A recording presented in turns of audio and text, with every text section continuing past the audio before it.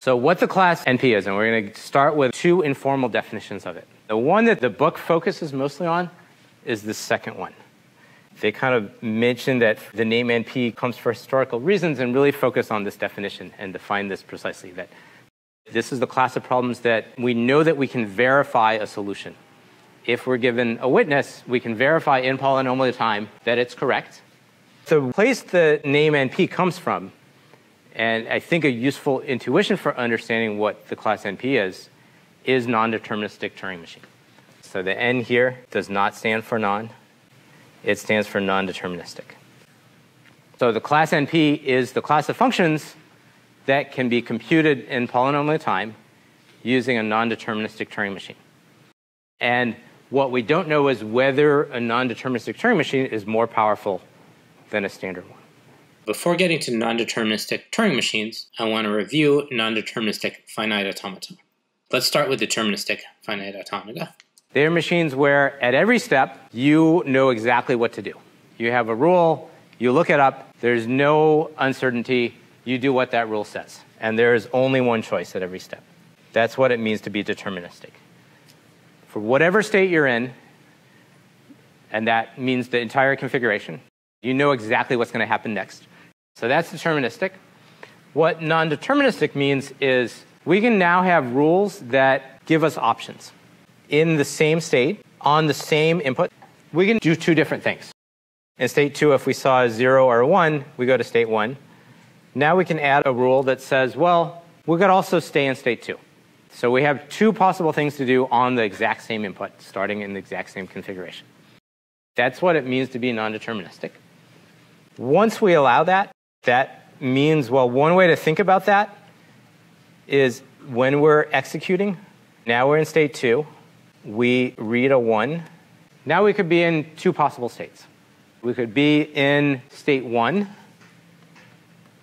or we could stay in state two.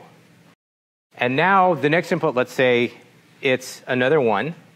Well, if we're in state one and we read a one, we stay in state one. If we're in state two and we read a one, we can do either of those two possible things.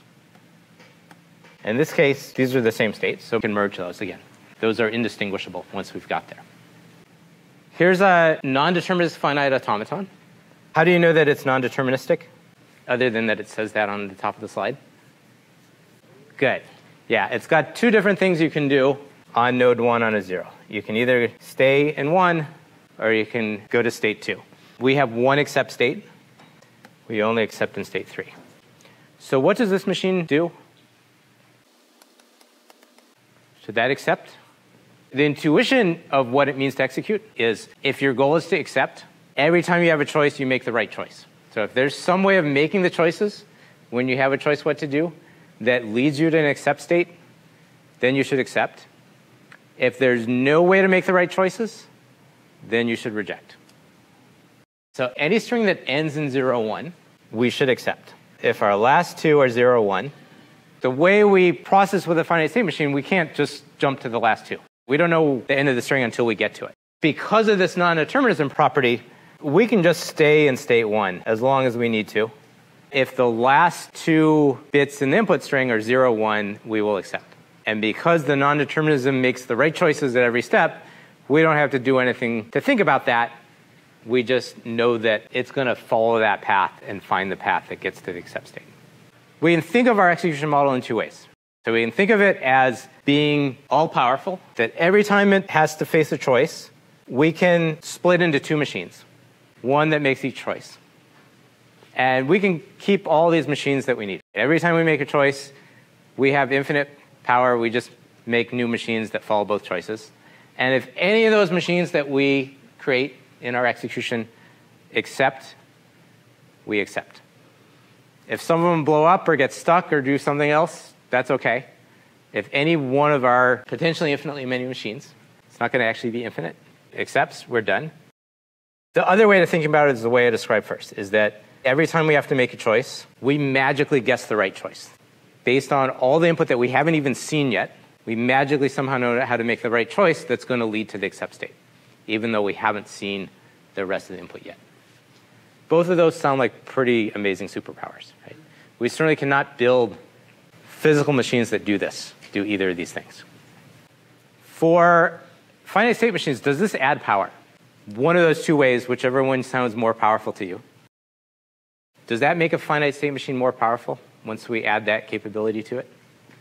How do we answer these kinds of questions? If we want to talk about whether one type of machine is more powerful than another, our definition of the power of a machine is the functions that it can compute.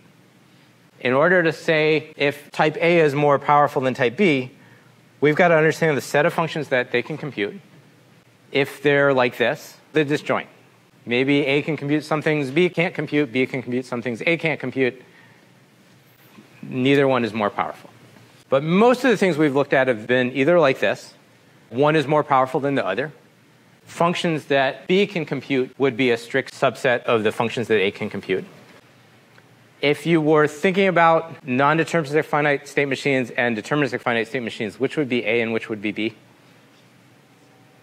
Which one is potentially seems like it's more powerful?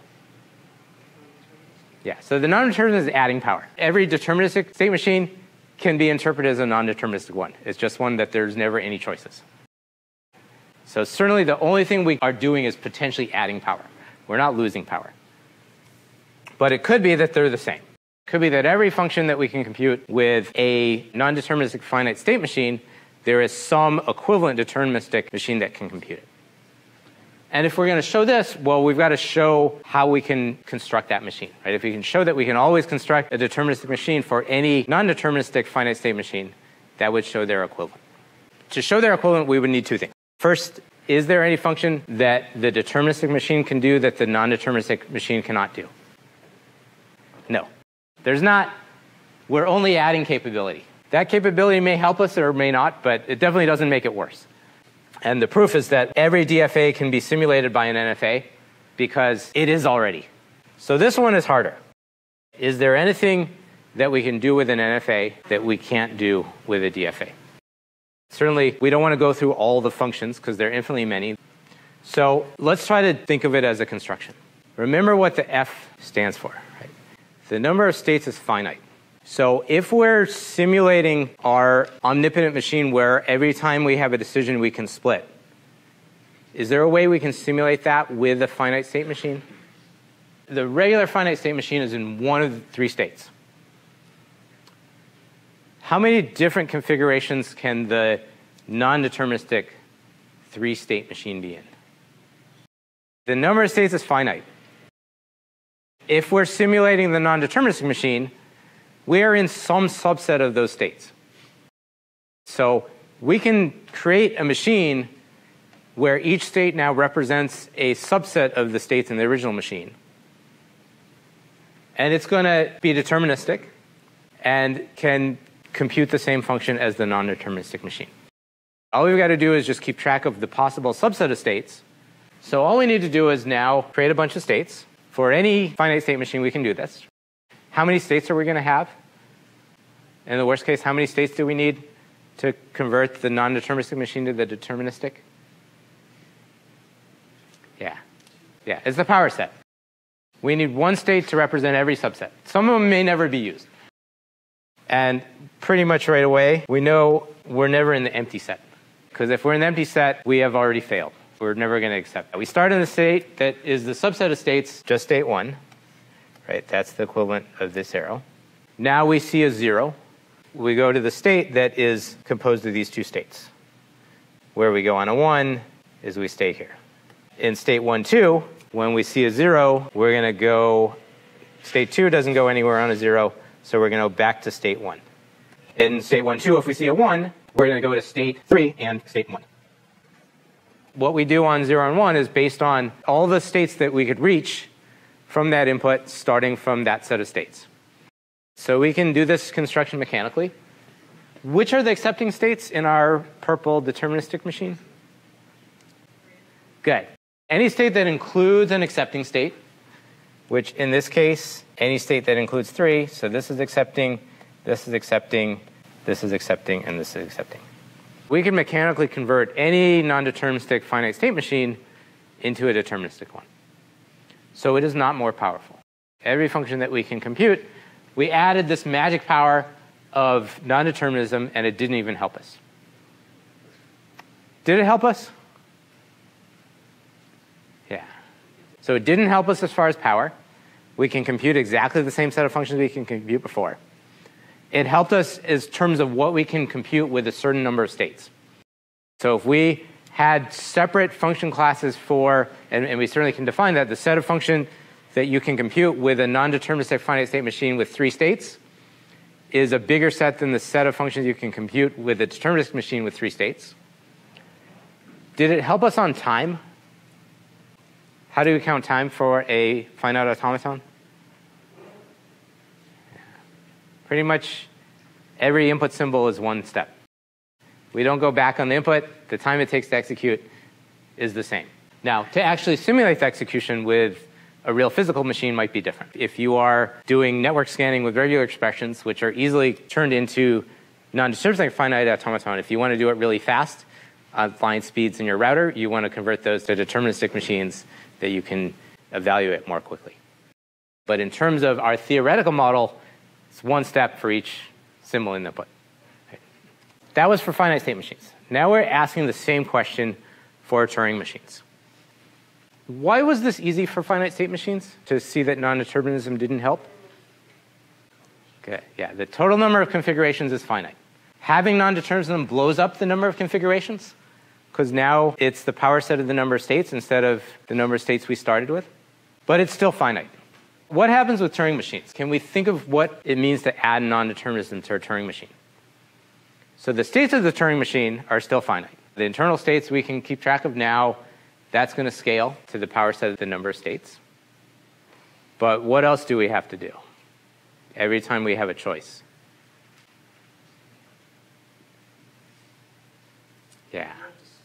Every time we have a choice, if our notion of what it means for a non-deterministic machine to execute is every time we have a choice, we try both.